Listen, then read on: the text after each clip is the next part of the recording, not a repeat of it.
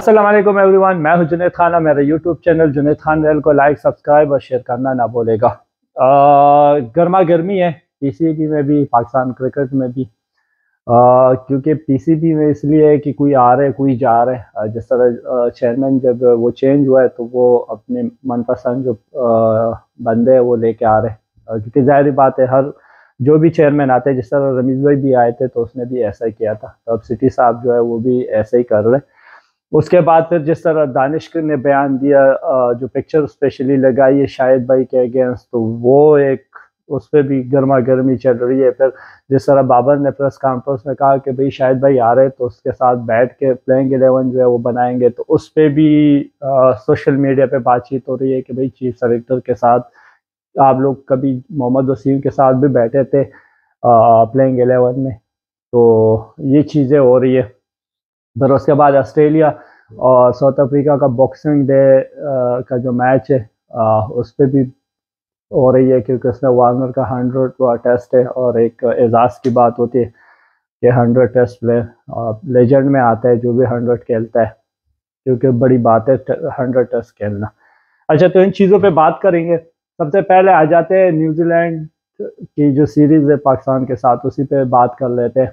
क्योंकि जिस तरह सारों को पता है आलमोस्ट के भाई, जो दूसरा टेस्ट था, वो भी मुल्तान से कराची शिफ्ट हुआ है। तो जितने भी मैचेस है, वो कराची में हो रहे हैं। विकेट जो है, वो भी स्पिनर्स के लिए बन रही है और बनना भी चाहिए, क्योंकि हमारा होम कंडीशन है। तो हमें वो, उस टाइप की विकेट बनानी चाहिए, जो हमारे लिए सूटेबल हो और जो मुखालिफ टीम हो, वो स्ट्रगल करें। क्योंकि आप देख ले जिस तरह ऑस्ट्रेलिया ने साउथ अफ्रीका के अगेंस्ट विकेट बनाए या इवन बांग्लादेश ने आ, इंडिया के अगेंस्ट बनाए। तो इस टाइप की बनती है।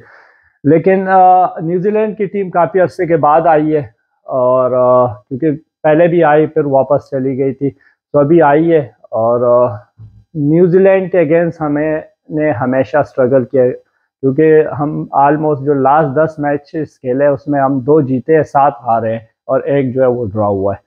तो इस मीन्स कि यहाँ पे भी प्रेशर हमारे ऊपर होगा क्योंकि जिस तरीके से हम इंग्लैंड से हारे हैं फिर जो न्यूजीलैंड की जो पास की रिकॉर्ड है तो ज़ाहिर बात है आ, इस पर का प्रेशर होगा।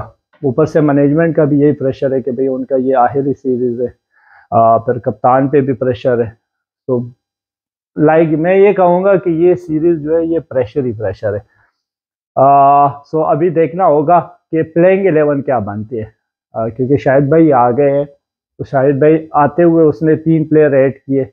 मीर हमज़ा सजाद और साजिद और आ, दानी। तो ये तीन प्लेयर ऐड किए तो अभी 19 प्लेयर हो गए। दो टेस्ट के लिए 19 प्लेयर वो भी हमारे होम सीरीज़ के लिए। अमूमन आपने देखा होगा जब इंग्लैंड ऑस्ट्रेलिया वगैरह खेलते हैं ना तो वो 12 प्लेयर अनाउंस करते हैं होम सीरीज़ के लिए। मैच बाय मैच ही अमूमन करते 12 अनाउंस कर लेते हैं। तो उसमें ग्यारह खेलते, एक बाहर बैठा होता है। वो अगर अनलेस खुदा ना करे, कोई इंजरी हो जाती है या कुछ होता है तो वो उस लिए होता है।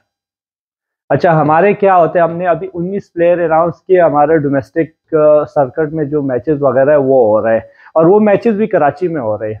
अब जिस होटल में टीम रह रही है, जिसमें डोमेस्टिक के प्लेयर रह रहे हैं तो मेरे ख्याल में हार्डली पाँच मिनट का ड्राइव होगी।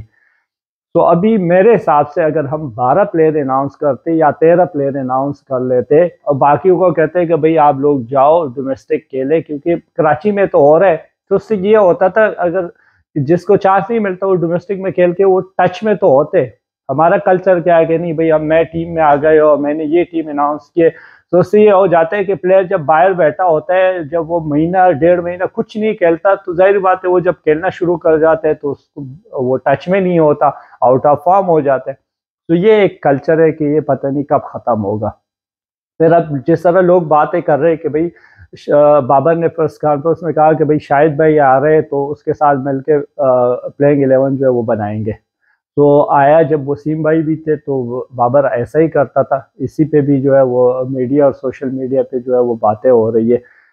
और देखना भी होगा कि प्लेइंग एलेवन होती क्या है।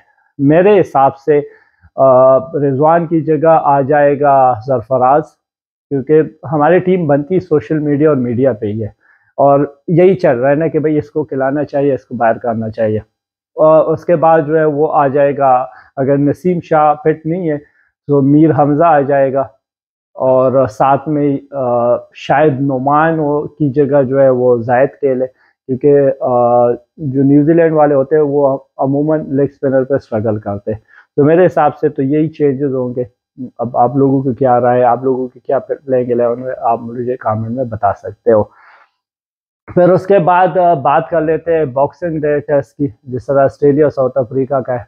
तो पहला मैच तो पौने दो दिन में ख़त्म हुआ था। अब कल से फिर शुरू हो रहा है। और विकेट भी उन लोगों ने भी थोड़ी सी प्लेट बनाई है कि जिस जिसपे ज़्यादा बॉल स्ट्रिंग और सीम नहीं होगा क्योंकि ऑलरेडी उनको भी पॉइंट मिला है। और ऑस्ट्रेलिया को मैच भी जीतना है तो अभी ये भी देखना होगा कि वो क्या करेंगे, क्या नहीं करेंगे। तो ये कुछ चीज़ें थी कि आप लोगों के साथ डिस्कस किए। अब देखते हैं कि कल बॉक्सिंग डे का जो है वो क्या बनता है। और इवन जो पाकिस्तान और न्यूजीलैंड का मैच है, वो भी बॉक्सिंग डे वाले दिन ही है तो इसको क्या नाम देंगे? मेरे हिसाब से तो यही पाकिस्तान न्यूजीलैंड सीरीज़ का नाम देना चाहिए। लेकिन अब है जो जो चीज़ें होती है वो इनशाला डिस्कस करते रहेंगे और जो भी राय आप लोग मुझे कमेंट में बता सकते हो। इनशाला मिलते हैं फिर एक और भी लॉग में।